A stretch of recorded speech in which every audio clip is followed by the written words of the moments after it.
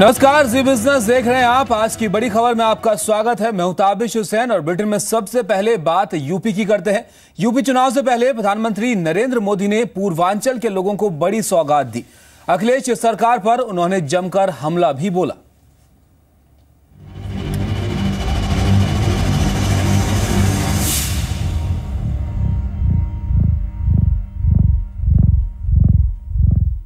उत्तर प्रदेश के पूर्वांचल के लिए नासूर बन चुका है इंसेफ्लाइटिस बुखार और इंसेफ्लाइटिस की चपेट में आने से हर साल सैकड़ों बच्चों को अपनी जान गंवानी पड़ती है। मौत का यह सिलसिला सालों से बदस्तूर जारी है। तीन दशक से ज़्यादा बीत गए। हज़ारों मासूम मौत के मुँह में चले गए। लेकिन इंसेफ्लाइटिस का कहर अब भी नहीं थमा है। आज भी इंसेफ्लाइटिस के कहर से पूरा पूर्वांचल थर्रा रहा है। कितनी ही सरकारें आई और गईं। इंसेफ्लाइटिस से मुक्ति दिलाने के लाख वादे और दावे हुए, लेकिन साल बीतते गए और हालात बद से बदतर होते चले गए जो विजय यात्रा हर परिवार को संतोष और सुख देने की विजय यात्रा का हिस्सा है, उस विजय यात्रा का आज आपके यहाँ प्रारंभ हुआ है सरकारी अस्पतालों की ये तस्वीर समझाने के लिए काफ़ी है कि स्वास्थ्य सेवाओं का हाल बद से बदतर है। और यूपी में अस्पतालों की कितनी सख्त ज़रूरत है? यूपी के 36 ज़िले इंसेफ्लाइटिस से प्रभावित हैं। अगर मौत के आंकड़ों की बात करें तो इस साल जुलाई महीने में ही बीआरडी मेडिकल कॉलेज में 19 बच्चों की मौत हो चुकी है। जनवरी 2016 से लेकर अब तक इंसेफ्लाइटिस से 78 लोगों की जान जा चुकी है, जिसमें चौहत्तर बच्चे हैं। पिछले पाँच साल के मौत के आंकड़ों पर भी नज़र डालिए। साल 2010 में इंसेफ्लाइटिस के 3,303 मरीज़ भर्ती हुए जिसमें 514 की मौत हो गई। 2011 में 3,308 मरीज़ भर्ती हुए जिसमें 636 की जान चली गई। 2012 में 2,517 में 531 मरीजों की मौत हो गई। 2013 में 615 2014 में 620 मरीज़ इंसेफ्लाइटिस की वजह से अपनी जान गंवा बैठे। वहीं 2015 में जनवरी से लेकर जुलाई के बीच तिरासी मासूमों की जान चली गई। ये आंकड़े बताने के लिए काफ़ी है कि उत्तर प्रदेश में पूर्वांचल के लोगों को स्वास्थ्य सेवाओं और अस्पतालों की कितनी ज़रूरत है। लोगों को सुपर स्पेशलिटी स्वास्थ्य सेवा देने के मकसद से पीएम मोदी ने पूर्वांचल को बड़ी सौगात दी है।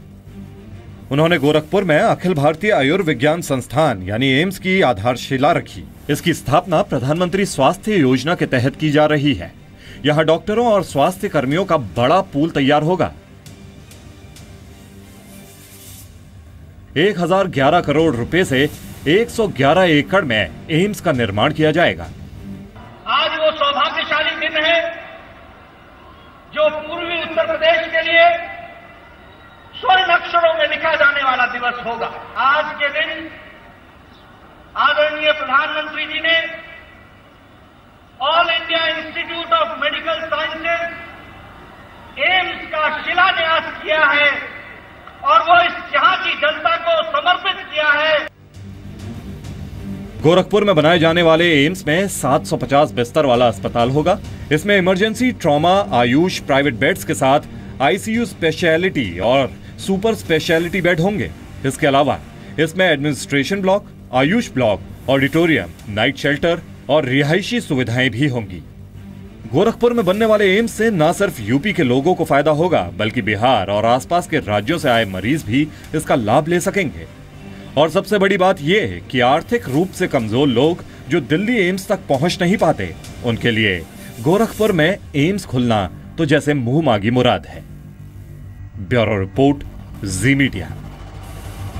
और यूपी से ही एक और खबर आपको बताएँ। बीजेपी से निकाले गए दयाशंकर सिंह की पत्नी ने बीएसपी अध्यक्ष मायावती और नसीमुद्दीन सिद्दीकी के खिलाफ एफआईआर दर्ज कराई है।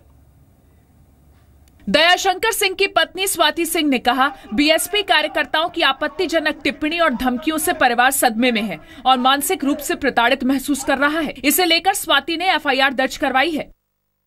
कंप्लेन करने में आई हूँ। बीजेपी कार्यकर्ता मेरे साथ हैं बहुत सारे लोग। मेरे साथ हैं जो मेरे बहुत करीबी थे वो मेरे साथ हैं। इससे पहले मायावती ने दयाशंकर सिंह के परिवार पर एक संवेदनहीन बयान दिया। कहा दयाशंकर सिंह की माँ बहन और बेटी की बेइज्जती के बाद उन्हें महिलाओं का अपमान समझ आया। हमारी बहन के बारे में जिसको हम देवी का रूप समझते हैं जिस भाषा का इस्तेमाल किया गया है लोग अपने आप आक्रोश में आकर वहाँ पर लोगों ने धरना प्रदर्शन किया। बुधवार को दयाशंकर सिंह ने मायावती के खिलाफ आपत्तिजनक टिप्पणी की थी। बीजेपी ने दयाशंकर सिंह को उपाध्यक्ष पद से हटाने के साथ पार्टी से छह साल के लिए निकाल दिया। बीएसपी नेताओं ने दयाशंकर सिंह के खिलाफ एफआईआर दर्ज करवाई। लखनऊ में प्रदर्शन के दौरान दयाशंकर के परिवार के खिलाफ आपत्तिजनक भाषा का इस्तेमाल किया गया। और अब बात गुजरात की करते हैं। गुजरात के ऊना में दलितों की पिटाई के मुद्दे पर सियासत लगातार जारी है। आज दिल्ली के मुख्यमंत्री अरविंद केजरीवाल पीड़ित परिवारों से मिलने पहुँचे। केजरीवाल ने राजकोट सिविल अस्पताल में भर्ती दलित युवकों से मुलाकात की। गुजरात सरकार और बीजेपी पर निशाना साधा। पीड़ितों को मुआवजा और सरकारी नौकरी दिए जाने की मांग की। भारतीय जनता पार्टी की जो गुजरात के अंदर सरकार है वो दलितों के ऊपर दमन कर रही है वो दलित विरोधी है उनको सबको कॉम्पेंसेशन दिया जाए, उनको सरकारी नौकरी दी जाए। 11 जुलाई को ऊना में चार दलितों को कार से बांधकर सरेआम पिटाई की गई थी। दलित युवकों पर गाय की खाल उतारने का आरोप लगा था। गुरुवार को कांग्रेस उपाध्यक्ष राहुल गांधी और एनसीपी नेता प्रफुल्ल पटेल ने ऊना पहुंचकर पीड़ित परिवारों से मुलाकात की। बुधवार को गुजरात की मुख्यमंत्री आनंदीबेन पटेल ने पीड़ितों से मुलाकात की थी। शनिवार को जेडीयू नेता शरद यादव पार्टी सांसदों के एक दल के साथ ऊना का दौरा करेंगे। और संसद भवन की वीडियोग्राफी के मामले में आप सांसद भगवंत मान मुश्किलों में घिर गए।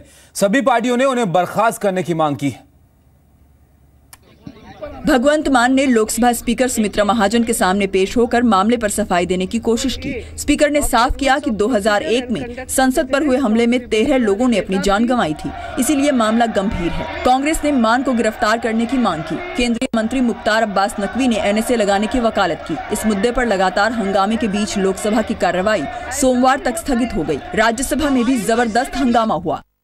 I will take decision in the matter मैं मानती हूँ, क्योंकि पार्लियामेंट की सिक्योरिटी के लिए तेरह लोगों ने जान गंवाई है कभी।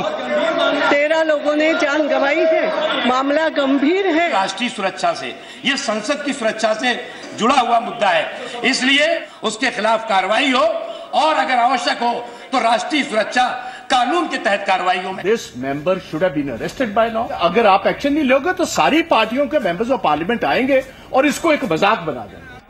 पंजाब के संगरूर से एएपी सांसद भगवंत मान ने वीडियो पर सफ़ाई दी। अनकंडीशनल इसके लिए माफ़ी का जो एक लेटर है मैंने मैडम स्पीकर को आपने दे दिया? मैंने नोटिस ऑफ़िस में दे दिया है उनका तक पहुँच जाएगा। एएपी सांसद भगवंत मान ने गुरुवार को संसद की सिक्योरिटी चेकिंग का वीडियो फेसबुक पर पोस्ट किया। वीडियो में भगवंत मान ने अपने घर से संसद पहुँचने के दौरान सिक्योरिटी चेक पॉइंट्स की जानकारी दी। भगवंत मान संसद के अंदर एंट्री से जुड़ी हर उस बात का खुलासा करते दिखे, जिसे सुरक्षा के लिहाज से सार्वजनिक नहीं किया जाता है।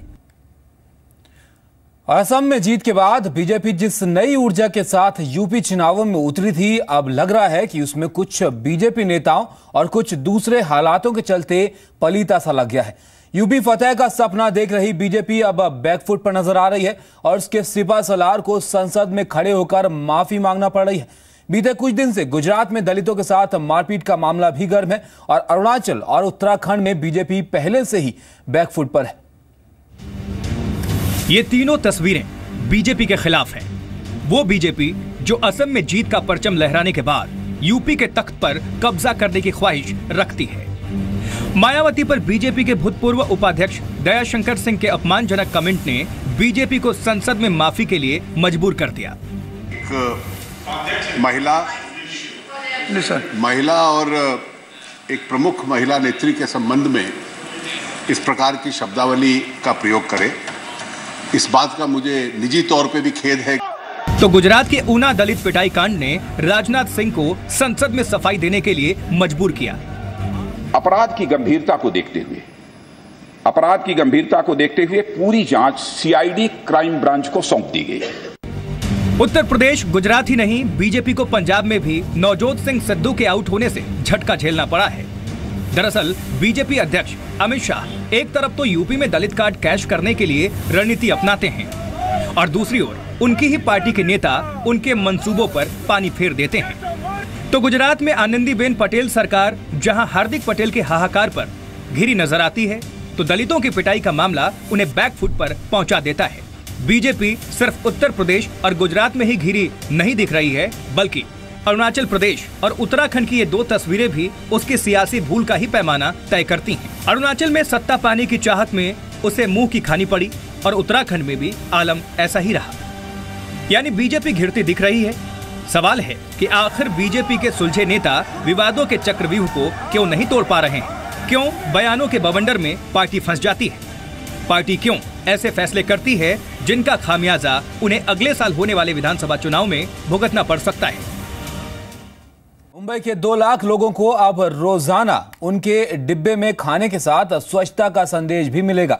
भारत के स्वच्छता अभियान के लिए सरकार ने डिब्बे वालों को डिब्बे के साथ स्वच्छता बनाए रखने का संदेश देने वाले स्टिकर लगाने की गुजारिश की है।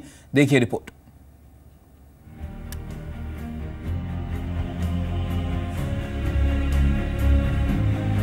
सफ़ाई, स्वच्छता। क्या हमारा देश स्वच्छ नहीं हो सकता है? अगर सवा सौ करोड़ देशवासी तय कर लें कि मैं कभी गंदगी नहीं करूँगा तो दुनिया की कौन सी ताकत है जो हमारे शहर, गाँव को आकर के गंदा कर सके?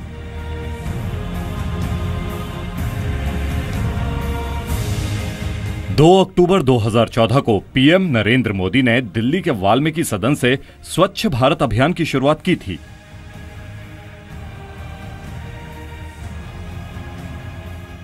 क्या नेता, क्या अभिनेता? अमिताभ बच्चन और सचिन तेंदुलकर से लेकर बड़ी बड़ी हस्तियाँ झाड़ू लेकर सड़कों पर उतरी थी।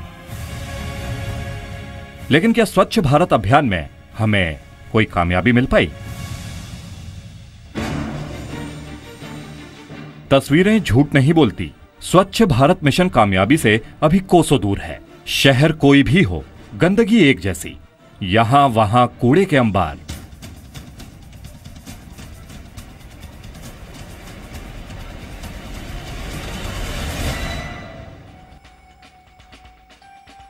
बात मुंबई की स्वच्छता अभियान के लिए मुंबईकरों की सोच और साफ़ सफ़ाई की कोशिशों को देखते हुए एक बात तो कही जा सकती है कि मुंबई पिछले दो साल में स्वच्छता की ओर कुछ कदम चलने में कामयाब तो हुई है। लेकिन क्लीन मुंबई का सफ़र अभी काफ़ी लंबा है। मुंबई के स्वच्छ मिशन को कामयाबी की मंजिल तक ले जाने के लिए मुंबई के अन्नदाता नाम से मशहूर डिब्बे वालों ने खुद को इस मकसद से जोड़ लिया है। मुंबई के डिब्बे वाले अब डिब्बों के साथ साथ स्वच्छता मैसेज की भी डिलीवरी कर रहे हैं।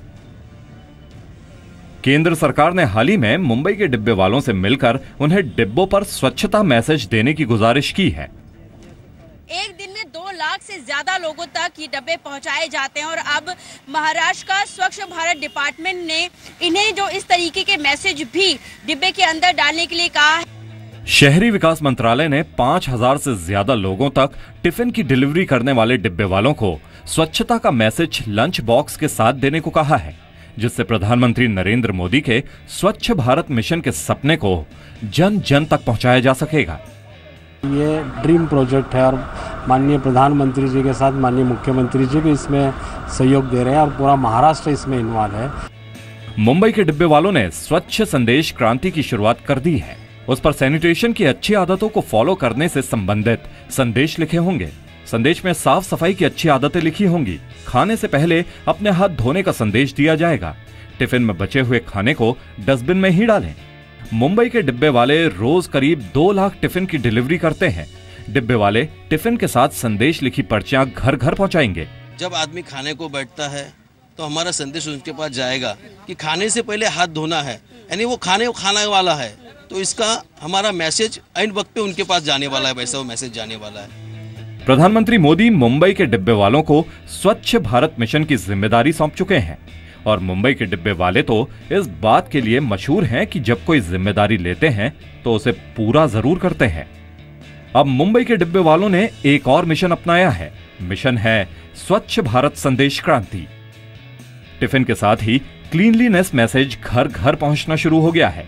वक्त करीब ही है, जब हम शान से कहेंगे, पीएम मोदी का मिशन क्लीन इंडिया कामयाब हुआ। कविता शर्मा के साथ Ehsan Abbas, Zee media, Mumbai. Two wheeler taxi सेवा देने के लिए गुड़गांव में महिलाओं के लिए विशेष बिक्सी पिंक सेवा की शुरुआत की गई है। बिक्सी पिंक भारत में अपने इस किस्म की पहली सेवा है, जिसके तहत महिला ही टू व्हीलर टैक्सी की राइडर्स भी होंगी। देखिए रिपोर्ट। एनसीआर की लड़कियों को अब गुरुग्राम में आके ऑटो, बस, टैक्सी के धक्के नहीं खाने पड़ेंगे, क्योंकि अब उनके लिए है पिंक बिक्सी, जिस पर वो स्कूटी की राइड ले सकते हैं, वो भी एक फीमेल राइडर के साथ। महिला पैसेंजर्स के लिए अब होंगी लेडी राइडर। महिलाओं के लिए आ गई है स्कूटी, टैक्सी। गुरुग्राम की महिलाओं को मिल गया है दिन में ट्रेवल करने का एक और तरीका, स्कूटी, टैक्सी। गुलाबी रंग की ये स्कूटियाँ आपको सुरक्षित सफ़र का भरोसा भी दे रही हैं। महिलाओं के लिए दोपहिया टैक्सी सर्विस पिंक बिक्सी की शुरुआत गुरुग्राम में रहने वाली दिव्या कालिया ने अपने तीन साथियों के साथ मिलकर की है इसकी शुरुआत जनवरी में हुई थी। बिक्सी blue service which is a service for men लड़कों के लिए वो सर्विस जो है, उसकी शुरुआत फ़र्स्ट ऑफ़ जनवरी को हुई थी। लड़कियों के लिए बिक्सी पिंक सर्विस जो है, ये 20 जनवरी को स्टार्ट हुई थी। हमारी ऐप भी जनवरी में लॉन्च हुई है। तो ये सर्विस जो है हेलिंग पे भी ली जा सकती है, जहाँ पर आकर अगर आपके पास ऐप नहीं है तो आप इसको बुक कर सकते हैं। आप ड्राइवर के पास आइए, आप उनको अपना फ़ोन नंबर और अपना एड्रेस बताइए और आप अपना जर्नी जा सकते हैं। वो अपनी ऐप पर आपकी बुकिंग करते हैं और स्टार्ट करके आपको ले जाते हैं। इंडिया में शुरू होने वाली ये ऐसी पहली सर्विस है, जिनकी ड्राइवर भी लड़कियाँ ही हैं। सर्विस पहले दो किलोमीटर के लिए दस रूपए प्रति किलोमीटर चार्ज करती है, तीसरे किलोमीटर से पाँच रूपए। बुकिंग आप फ़ोन के ज़रिए ऐप पर कर सकते हैं। सेवा सुबह आठ बजे से शाम के छह बजे तक है। इतना अच्छा रिस्पांस रहा है। अभी तक हमारी अस्सी हज़ार राइड्स हो चुकी हैं, आठ हज़ार ऐप इंस्टॉल्स हो चुके हैं एंड अभी भी लोग हमें कहते हैं कि आपकी सर्विस सफिशेंट नहीं है, आप प्लीज़ इसको और बढ़ाइए, दूसरी सिटीज़ में भी लेके जाइए। अलग अलग सिटीज़ से हमें क्वेरीज आती हैं। महिला ड्राइवरों की सुरक्षा का भी ख्याल दिव्या ने पूरी तरह रखा है। ऐप में महिलाओं की सुरक्षा को ध्यान में रखते हुए एक फीचर डाला गया है। इसमें एसओएस बटन दिया गया है। इसे दबाते ही राइडर और सवारी की लोकेशन पता चल जाती है। ऐसी स्थिति में टीम के सदस्य किसी भी अनहोनी की सूरत में उन तक पहुँच जाते हैं। साथ ही उन्हें पेपर स्प्रे भी दिया गया है। इस बाइक टैक्सी में हाइजीन का भी पूरा ख्याल रखा जाता है। महिलाओं को हेलमेट के नीचे पहनने के लिए शावर कैप दी जाती है। मैम मैं पिछले सात महीने हो गए मुझे आठवां लग गया है यहाँ पर करते मुझे तो बहुत अच्छा लग रहा है यहाँ चला के स्कूटी और ये एक डिफरेंट है। मतलब जैसे और जॉब कर रहे हैं उससे अलग है कि हम स्कूटर पे और गाड़ियों में छोड़ रहे हैं कोई बस में छोड़ रहा है कोई कैसे। लेकिन हम स्कूटी पे चला रहे हैं इसलिए मुझे बहुत अच्छा लग रहा है। आप जस्ट एक बुकिंग कीजिए and as soon as you will get down the station you will find the pilot available there so बहुत टाइम बचता है. You really don't have to wait for anybody and uh, it's like very quick. And moreover it's cheap as well.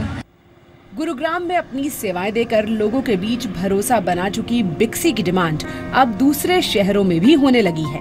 हालाँकि दूसरे राज्यों में दोपहिया taxi शुरू करने के लिए दिव्या को दो पहिया वाहनों के लिए रेगुलेशन के खुलने का इंतज़ार करना होगा।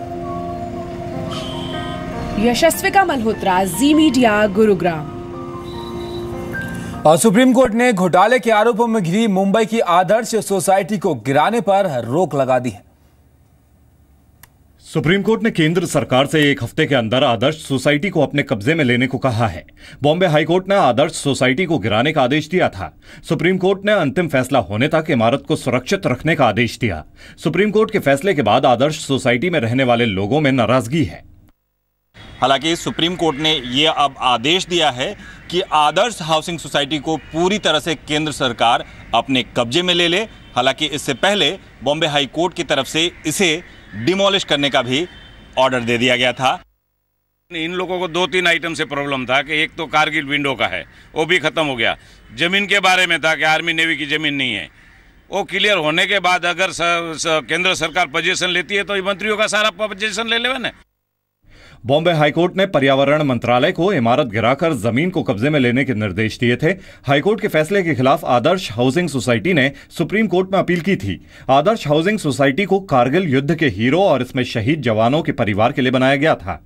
इमारत को छह मंजिला बनाया जाना था, लेकिन नियमों में अनदेखी कर इसे इकतीस मंजिला बना दिया गया। सोसाइटी ने नेताओं, नौकरशाहों और सेना के अधिकारियों को भी नियमों की अनदेखी कर फ्लैट आवंटित किए गए। और अमेरिका में राष्ट्रपति पद का उम्मीदवार बनते ही डोनाल्ड ट्रंप ने आईएसआईएस और हिलेरी क्लिंटन के खिलाफ बड़ा हमला बोला है। रिपब्लिकन पार्टी की ओर से राष्ट्रपति पद की उम्मीदवारी हासिल करने के बाद ट्रंप ने आईएसआईएस को जल्द से जल्द खत्म करने का ऐलान किया। अमेरिका में आतंकवाद के बढ़ावे के लिए हिलेरी क्लिंटन को जिम्मेदार ठहराया। We are going to defeat the barbarians of ISIS and we're going to defeat them fast. In 2009, pre Hillary, ISIS was not even on the map. This is the legacy of Hillary Clinton death, destruction, terrorism, and weakness. Trump की बेटी Ivanka ने भी अपने पिता को रंग भेद के खिलाफ बताया है। अमेरिका में 8 नवंबर को राष्ट्रपति के लिए चुनाव होना है। ट्रंप को 19 जुलाई को पार्टी की तरफ़ से राष्ट्रपति पद के लिए नॉमिनेट किया गया था। चुनाव के दौरान रिपब्लिकन डोनाल्ड ट्रंप और डेमोक्रेटिक हिलेरी क्लिंटन के बीच कड़े मुकाबले की उम्मीद है।